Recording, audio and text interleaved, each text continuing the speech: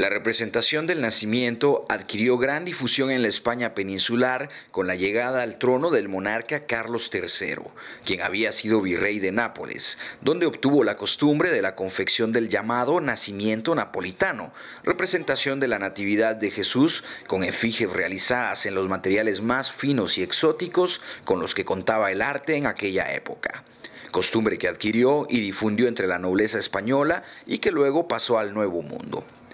En cada reino del Nuevo Mundo se fue determinando el templo de diferentes materiales y técnicas para la elaboración de estas imágenes que incluyeron la del Niño Jesús y se fueron adaptando a las necesidades de cada región. Así van surgiendo diferentes tipos de representaciones con el mismo objetivo religioso.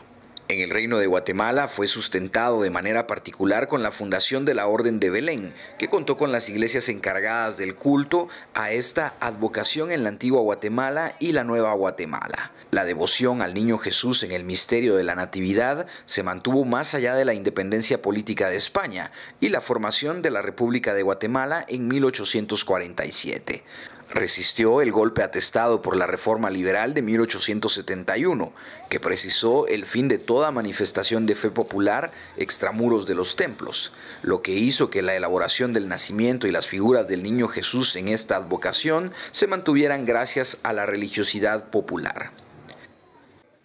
La tradición popular de hacer el nacimiento o Belén en las casas se mantiene con gran vigor, aunque las imágenes y personajes que incluyen al niño Jesús como epicentro de esta escena se han visto disminuidas en su valor artístico, pues ahora son imágenes de diseño industrial